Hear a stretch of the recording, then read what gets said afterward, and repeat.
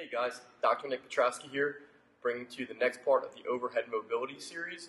Uh, today we're here to talk about the lat foam roll. The lat is this big muscle right here that downwardly in, and internally rotates your arm.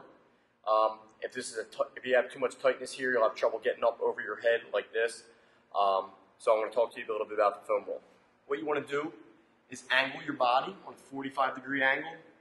Feel the foam roller nice and deep inside the muscle. And you just want to go about one inch per second along that big lat muscle for about a minute or two, no longer. And then you can take a break. What this will do is provide a little bit of relaxation to that muscle. And after some active stuff, you can help to get overhead a little bit more